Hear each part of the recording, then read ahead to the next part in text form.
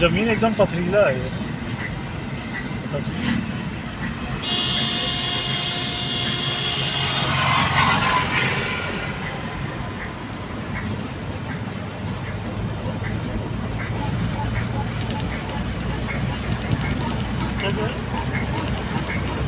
पहाड़ी इलाके पिकनिक मनाने के लिए। हाँ। खाली जगह कितना है